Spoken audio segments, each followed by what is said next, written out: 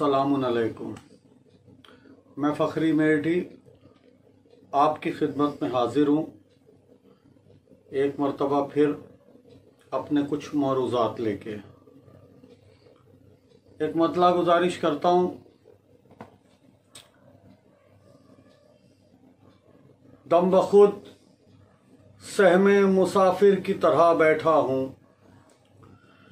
दम बखुद सहमे मुसाफिर की तरह बैठा हूँ, अपने ही घर में महाजिर की तरह बैठा हूँ।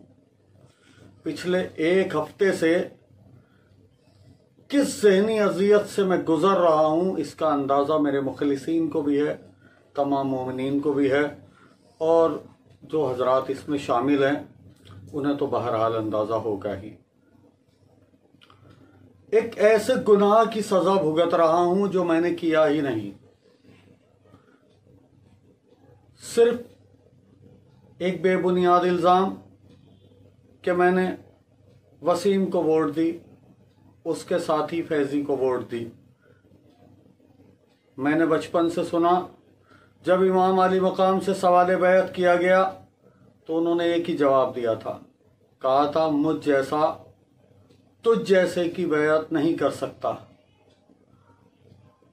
आप लोगों ने ये तस्वुर कैसे कर लिया कि फ़खरी मेढी मुनकर कुरान के हाथ पे बैत कर सकता है? आपने सोच कैसे लिया? मेरे सफ़ाई देने के बावजूद लोग मुझसे कहते रहे, नहीं, कोई लानती कह रहा है, कोई मुर्तद कह रहा है, कोई कुछ कह रहा है, जिसके जो मुँह में आ रहा है वो बोल रहा है, मैं सब की सुन रहा हूँ। मैंने अपनी सफ़ाई में एक वीडियो जारी किया। उसके अंदर बहुत सारे कमेंट्स आए। खसूसी तौर पे उसमें एक कमेंट ये था कि आफ्ताब शरीयत ने हुक्म दिया है कि अगर सच्चे हैं तो एफिडेविट दें। अगर सच्चे हैं तो एफिडेविट दें। अगर सच्चे हैं तो एफिडेविट दें। हजरात, मैंने ये एफिडेविट आप हजरात की मोहब्बत में, आप हजरात के कहने पे, आप ताबे शरीयत की तसल्ली के लिए, आप हजरात की तसल्ली के लिए, अपनी बेगुनाही की दलील के लिए। हालाँकि किसी के पास मेरे गुनहगार होने की कोई दलील, कोई सबूत नहीं है। उसके बावजूद मैंने ये एफिडेविट आप हजरात के बेपना इसरार पे तैयार किया।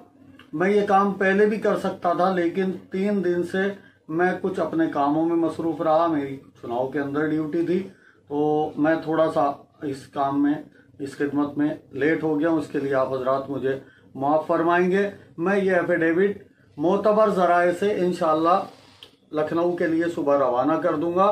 और मैंने आज शाम रोज़ा इफ्तार के बाद ये एफिडेविट अपने मेरठ के शाही जामा मस्जिद के इमाम रातिब सैयद महजर अब्बास आबदी साहब को दिखा दिया है। उनके साथ भी कुछ लोग मोतबर आए थे। उन्हें भी दिखा दिया। भाई दिलबर जैदी साहब, मुहर्रम अली वगैरह उनके साथ आए।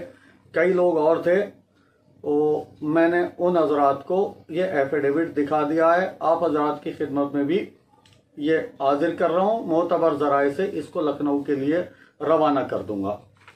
अब मेरा एक सवाल है आप हजरात से, जो लोग आठ दिन से मेरे मना करने के बावजूद मैं कह रहा हूँ कि मैं गुनहगार नहीं हूँ, मैं कहे जा रहा हूँ कि मैं गुनहगार नहीं हूँ, मैंने मुनकर कुरान को, गुस्ताख कुरान को सपोर्ट नहीं किया है। उसके बावजूद भी लोग मेरी सुने बगैर हालात ही ऐसे थे कि कोई मेरी सुनने के लिए तैयार नहीं था। बहरहाल, अब आप लोगों के हुक्म के मुताबिक और तमाम लोगों की तसल्ली के लिए जो आप लोग जैसा कहते रहे, मैं वैसा करता रहा। अब मैंने ये एफिडेविट भी जारी कर दिया है, ये पहुँच जाएगा। अब वो मुखलसिन जो लोग ज़ाती रंजिश के तहत मुझे बुरा भला कह रहे हैं, उनसे मुझे ना कोई उम्मीद है, ना किसी किस्म की कोई शिकायत है। वो इन हालात से पहले भी मुझे जो कुछ उनके मुँह में आता था, कहते थे, मुझे ना आज कोई शिकायत है ऐसे लोगों से। लेकिन वो लोग जो जज्बात के बहाव में बगैर किसी सबूत के आठ दिन से मुझे लानत मलामत कर रहे हैं, इस एफिडेविट के जारी होने के बाद वो मेरे बारे में क्या फैसला रखते हैं, मुझे इस वीडियो के कमेंट में ज़रूर बता दें कि वो अब उनका नज़रिया क्या है। बाकी जो परवरदिगार जानता है, वो दिलों के हाल जानता है। मैं पहले दिन से मैंने किसी एक शख्स से अगर ये कहा हो कि मैंने गुनाह किया है तो आप मुझे बताओ, मेरे गुनागार होने की किसी के पास कोई दलील, कोई सबूत हो तो मुझे पकड़ो। मैं शायर अहल हूँ, वक्त मनसबिया का मुतवली में बाद में हूँ, मैं पैदाइशी शायर अहल हूँ। समझ लें आप। खिदमतगार हूँ, पाँच साल की उम्र से मदाखानी शुरू कर दी थी और कब से शेर कह रहा हूँ, मुझे खुद अंदाज़ा नहीं है इस बात का। इमाम जाफ़र सदक सलाम अल्लाह मोहम्मद मोहम्मद फरमाते हैं कि जिसने हमारे जद की शान में एक शेर कहा, उसे परवरदिगार ने जन्नत में एक मकान अता किया।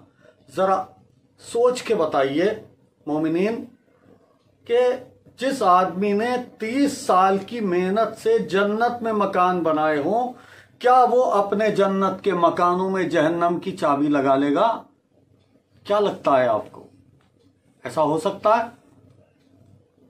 मैं एक कथा पढ़ता हूँ और आपसे इजाज़त चाहता हूँ और आपके फैसले, आपके कमेंट्स का मुझे इंतज़ार रहेगा कि आप तक मेरी बात कितनी पहुँची, कहाँ करार है जिल्लत से सर झुकाने में, कहाँ करार है जिल्लत से सर झुकाने में, सुकून मिलता है इज़्ज़त से सर कटाने में हुसैन बैत फासिख करें यह नामुमकिन नमाज़ हो नहीं सकती शराब खाने में। बहुत शुक्रिया।